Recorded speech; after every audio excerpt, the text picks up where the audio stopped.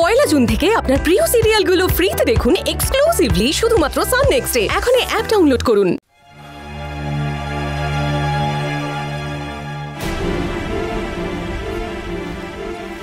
কি- ব্যাপার ঠাম্মি? উমাশঙ্কর আসছে তো। হ্যাঁ। আরে শোন না আমি খুব ভয় পেয়ে গেছিলাম জানিস তো? সেই জন্য ওকে ফোনটা করেছি। কোনো মানে হয়? তুমি জানো তোমার জন্য আমরা কত বড় একটা বিপদের মুখে পড়তে চলেছি? বিপদ? বিপদ না। এই সুন্দরীর মাঝে কথা বলতে পারে না সেটা তো বাবাকে জানানো হয়নি। এরপর বাবা এসে দেখলে আমাদেরকে কি বলবে বলো তো? আরে আমি তো এটাই বুঝতে পারছি না। আমরা এই ঘটনাটা উমাশঙ্করকে জানালাম না কেন? আরে ছোট থেকে ছোট ঘটনা আমরা উমাকে জানাই আর এত বড় ঘটনাটা জানালাম না লুকিয়ে গেলাম। না না না না এটা ঠিক হয়নি। কিরে? হাঁ করে আছিস কেন? বল। এর উত্তর তোমার নাতনি দেবে। দেখো তুমি এমনিতেই ছড়িয়েছো। এবার বাবার সামনে দয়া করে না মুখটা বন্ধ রেখো। কোনো বেফাস কথা বলতে চাও না। তাহলে কিন্তু আমরা সবাই কেস খেয়ে যাব। এখন আমাকে ভাবতে হবে যে কাকিমাকে কোথায় লুকোনো যায়। আরে লুকোবো কেন? কারণ বাবার সামনে কাকিমা এলে কাকিমা যে কথা বলতে পারে না সেটা তো বাবা জেনে যাবে। হুম। সরো সরো আমায় যেতে দাও।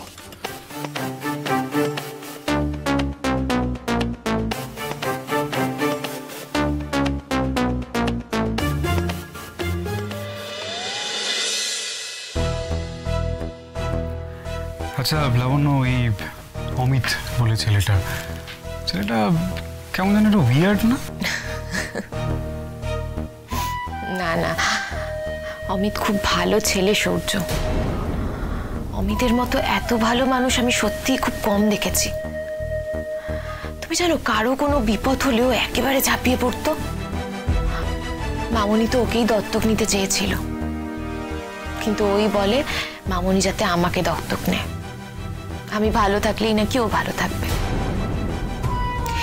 আশ্রমে যখনই কোনো ভালো কিছু রান্না হতো চিকেন বা এই ধরনের কিছু, ও সবার আগে দেখতো প্রত্যেকটা বাচ্চা পেট ভরে খেয়েছে কিনা। আর যদি কেউ না খেত, তাহলে ও নিজের খাবারটাও তাদের দিয়ে দিত। তুমি জানো সূর্য, ও আমাকে ও আমাকে খুব কেয়ার করতো, খুব প্রোটেক্ট করতো, খুব ভালোবাসতো। আর আমরা আমরা একসাথে কত স্বপ্ন দেখেছি কত প্ল্যান করেছি যে আমরা বড় হয়ে একটা অনাথ আশ্রম করব আর ওখানে সব বাচ্চাদের অ্যাডপ্ট করব। আমি হব ওদের মা আর অমিত হবে ওদের বাবা। ভালো। তোরা গল্প করছিস? কাকে নিয়ে অমিতকে নিয়ে? হ্যাঁ মামনি সূর্যকে বলছিলাম অমিত কেমন ছিল। অবশ্য ও এখনও একই রকম আছে। একদম তাই। ও সেই ছোটবেলার মতোই রয়ে গেছে। ইনফ্যাক্ট আমি তো ভাবতাম যে তোর আর অমিতের আমি বিয়ে দেব। আমার চোখে তুই আর অমিত হচ্ছিস একদম পারফেক্ট ম্যাচ মামুনি কিন্তু অমিত আমার ভালো বন্ধু ছিল। তো কি হয়েছে? বন্ধুত্বটা যদি ভালোবাসা অবধি গড়াতো, তাহলে খারাপ কিন্তু হতো না। অমিতের মতো ছেলে তোকে কিন্তু ভালোই রাখতো। ইনফ্যাক্ট আমার মনে হয় অমিতের থেকে ভালো ম্যাচ তোর জন্য আর কেউ হতেই পারে না। যদিও তুই সূর্যকে বিয়ে করেছিস, কিন্তু তোর মতো মেয়ের একটু ভালো কাউকে ডিজার্ভ করে। যেমন অমিত।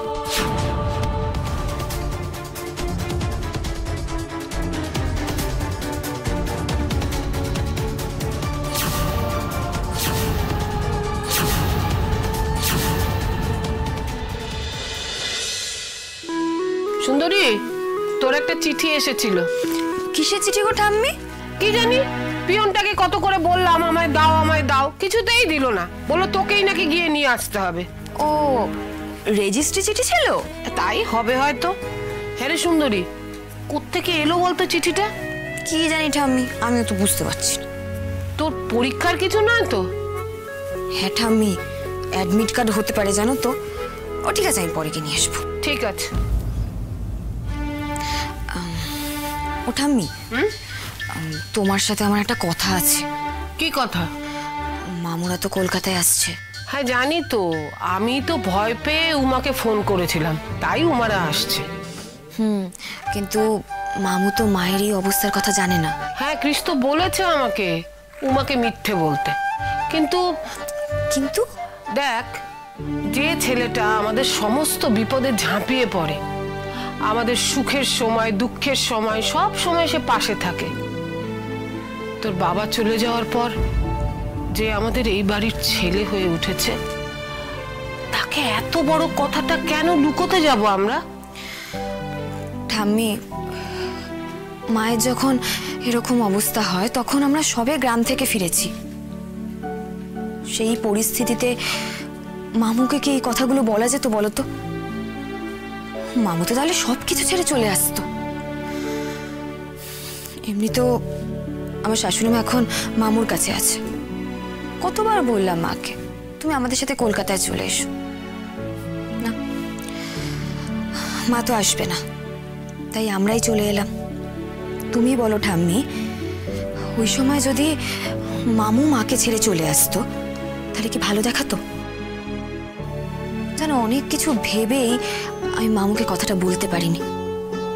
কিন্তু এখন মামু আসার পর যদি মায়ের এই অবস্থা দেখে তাহলে তো মামু আমাদের সবাইকে ভুল বুঝবে। হ্যাঁ কিন্তু কি করবি তুই আমাকে একটু বলতো উমা তো এলেই এই বাড়িতে বৌমাকে দেখতে পাবে। ওকে কি আমরা কোথাও লুকিয়ে রাখব? হ্যাঁ ঠাম্মি। যেভাবেই হোক মাকে লুকিয়ে রাখতে হবে এখন। কোনোভাবেই যাতে মা মামুর সামনে চলে না আসে সেটা আমাদের দেখতে হবে। কিন্তু বৌমাকে লুকোবি কোথায়? ও মাসিমা। এই যে আপনার কুমড়োর ছক্কা। ওই যে মাসি শোনো না তোমার সাথে একটা কথা আছে। খুব ভালো সময় চলে এসেছ। কেন রে? কি হয়েছে? আমাকে একটা হেল্প করতে হবে তোমায়। সে তো আমি করেই থাকি। কি দরকার বল? মাকে না কিছুদিন তুমি তোমার ঘরে একটু লুকিয়ে রাখবে গো। আমার ঘরে? হ্যাঁ।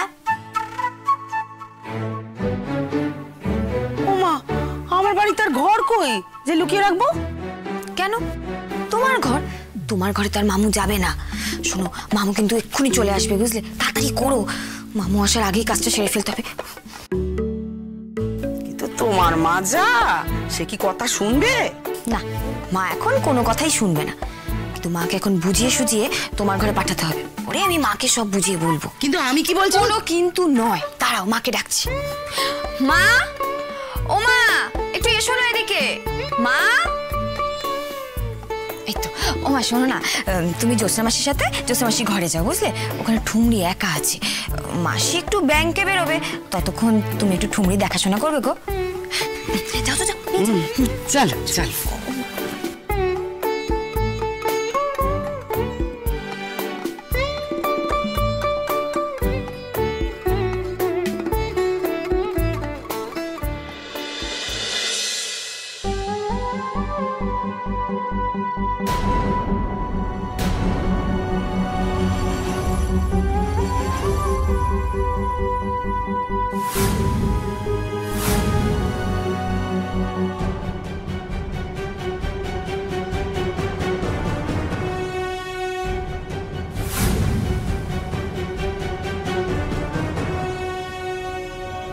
মামু? কোথাও বেরোচ্ছিস? হ্যাঁ মামু। একটা কাজে যাচ্ছি। কোথায় যাচ্ছিস? Post office. আচ্ছা যা তাড়াতাড়ি কাজটা সেরে চলে আয়? শোনো না মামু। আমাকে একটা সাহায্য করবে? বল না। মামু আমার স্কুটির টায়ারটা না পাংচার হয়ে গেছে। আমাকে একটু পোস্ট অফিসে নিয়ে যাবে গো। আসলে ওখানে আমার নামে একটা রেজিস্ট্রি চিঠি এসেছে। আমি যখন বাড়িতে ছিলাম না তখন পোস্টম্যান এসেছিল। কিন্তু কাউকে দেয়নি বলেছে আমাকে গিয়ে নিয়ে আসতে। পোস্ট অফিস তো কাছেই। তুই জানা বাবা এতটা রাস্তায় গরমে এলাম আর ভালো লাগছে না। এতক্ষণ যখন এলে চলো না গো আর পাঁচ মিনিট। আমি তো কখনো তোমাদের কাছে কিছু আবদার করিনি কিছু চাইও নি বলো। আজকেই একটু আবদার করছি। তাছাড়া আমি কিন্তু ফার্স্ট হয়েছি। আর কেউ ফার্স্ট হলে আবদার করলে তার আবদারটা তো রাখতে হয় নাকি? অবশ্যই অবশ্যই। চল। চল। আচ্ছা সুন্দরী। সূর্য কোথায়?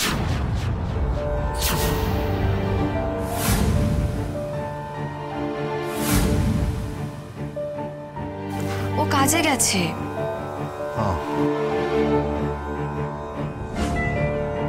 চল চলো। চলো।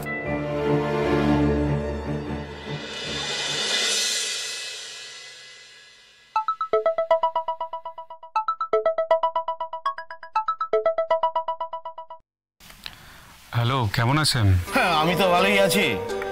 তা ভূষণ বাবুর কাছ থেকে খবরটা পেয়ে ভাবলাম আপনাকে একটা ফোন করি। তা এখন কেমন আছেন? ব্যথা কমেছে? না ব্যথাটা একটু কম আছে তবে হাঁটা চলা করতে অসুবিধা হচ্ছে। সে তো হবেই। এখন আপনাকে খুব সাবধানে থাকতে হবে।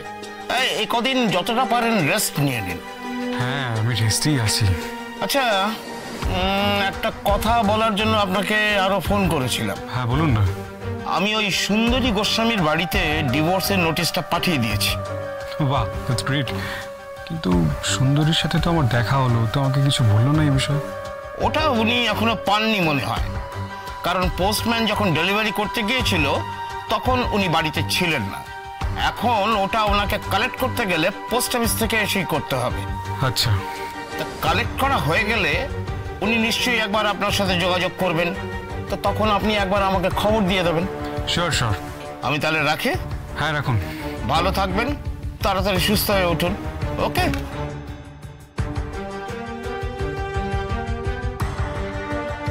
যাক অবশেষে মনে হচ্ছে আমি আর কিছুদিনের মধ্যেই মুক্ত হয়ে যাব। আমাকে আর সবার মন জুগিয়ে একটা মিথ্যে টেনে নিয়ে চলতে হবে না। সুন্দরী আমি চেয়েছিলাম অন্তত বন্ধু হিসেবে তোমার পাশে দাঁড়াতে। কিন্তু তুমি যখন সেটুকুও চাইলে না, তখন আমাদের মধ্যে যাবতীয় যে সম্পর্ক, সেটা আমি আজকে ভেঙে দিলাম।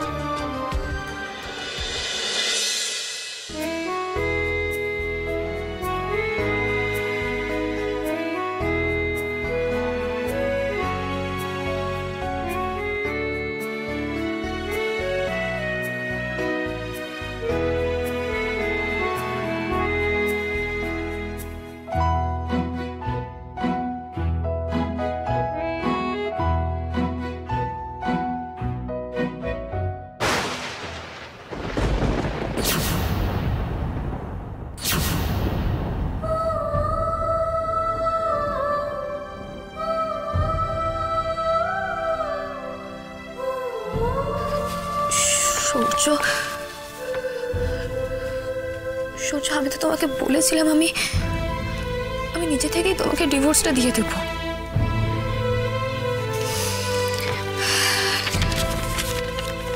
কিন্তু আমার মায়ের শরীরের এই অবস্থা। তারপর সেদিন কোর্টে যা হলো, তারপর আমি সত্যি সময় পাইনি কাজটা এগোনোর।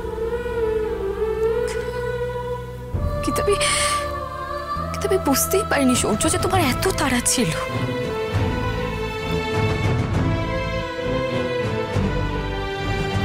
আজ বুঝতে পারছি সৌর্য। তুমি এতদিন এই আশাতেই ছিলে যে আমি আমি তোমাকে কবে এই কথাটা বলব?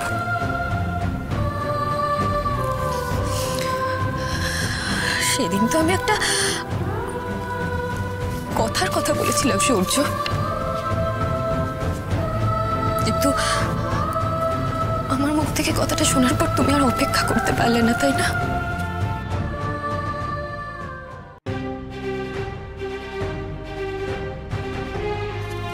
সূর্য, এই চিঠিটা এই চিঠিটা কি আমার বাড়িতে পাঠানোর খুব দরকার ছিল?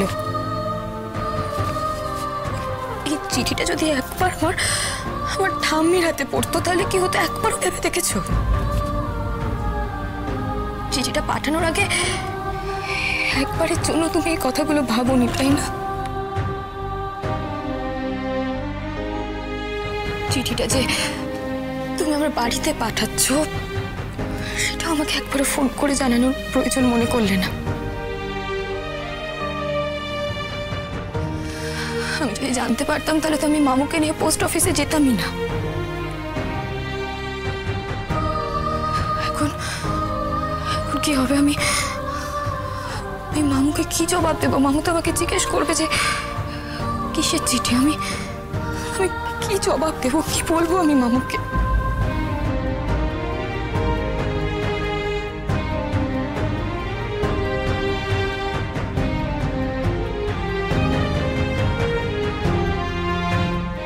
তুমি ঠিক করলে না সূর্য। কোনোদিনও ক্ষমা করব না তোমাকে আমি এর জন্য।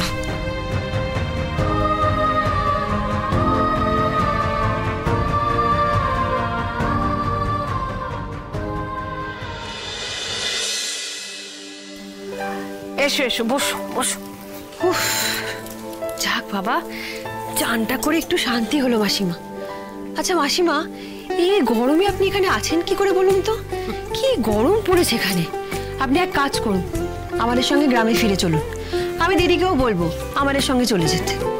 উফ কি গরম পড়েছে বাইরে হ্যাঁ? কি রোদ এক ফোঁটা বৃষ্টি নেই কালবৈশাখীর নাম নেই বাপ রে। হ্যাঁ গো তোমার স্নান হয়ে গেল?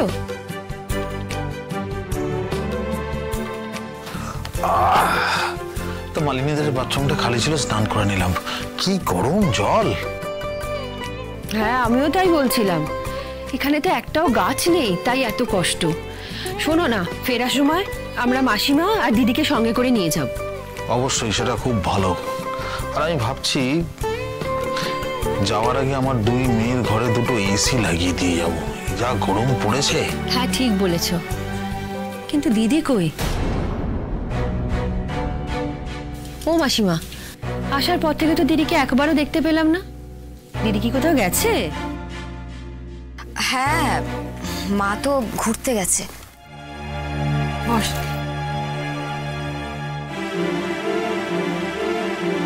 ঘুরতে গেছে? দিদি এই গরমে কোথায় ঘুরতে গেছে? মা আসলে পাড়ার কিছু মহিলাদের সাথে সতীপীঠ দর্শনে যাওয়ার প্ল্যান করেছিল। তাদের সাথেই গেছে। মায়ের তো কোথাও যাওয়া হয় না। তাই ভাবলাম যে ভালোই হয়েছে মা একটু ঘুরে আসুক। তুই মাসিমাকেও পাঠাতে পারতি তো শুধু মাকে পাঠালি কেন? না না উমা আমাকে তো বলেছিল। কিন্তু ব্যাপারটা কি বলো তো ওই খরচের একটা ব্যাপার আছে তো। তো এইবার বৌমা যাচ্ছে যাক না। আমি না হয় পরের বার যাব। আচ্ছা বাবা তোমরা কি কালই চলে যাবে?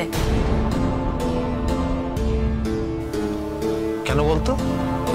না তোমরা এখানে যে কারণে এসেছিলে সেই কারণটাই তো ভুল। তাই ভাবলাম ও আচ্ছা। লক্ষ্মী দেখো তোমার মেয়ে চায় না যে আমরা কলকাতায় থাকি। এমা না বাবা সেটা নয় একদম। আমি তো জাস্ট এমনি জিজ্ঞেস করলাম। কোথায়? আমি বললাম যে এখান থেকে যাওয়ার আগে তোদের দুজনের ঘরে দুটো এসি লাগিয়ে দিয়ে যাব। আর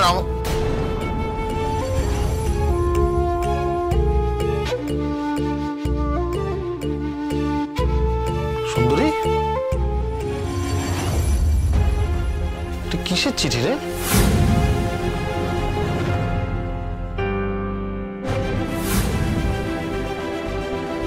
পরীক্ষার অ্যাডমিট কার্ড বোধ হয় না রে? সুন্দরী? এটা তোর পরীক্ষার অ্যাডমিট কার্ড না। তাহলে? কি রে? চুপ করে আছিস কেন? বল।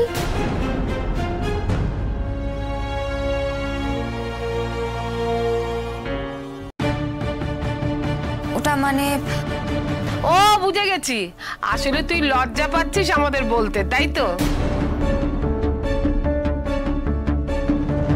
মানে? তুই কি ভাবছিস?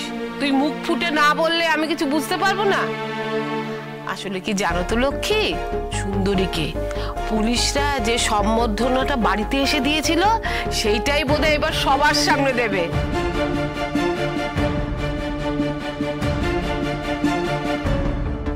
সেই অনুষ্ঠানেরই তো চিঠি তাই না? আমি তো জানি না আমি তো খুলেই দেখিনি। তাহলে খুলে দেখ। যদি অনুষ্ঠানের চিঠি হয় তাহলে তো আমাদের সবাইকেই অনুষ্ঠানে যেতে হবে। শোনো না আমরা বরং অনুষ্ঠান দেখে তারপর ফিরবো। ততদিনে নিশ্চয়ই দিদি চলে আসবে দিদির সঙ্গেও দেখা হয়ে যাবে।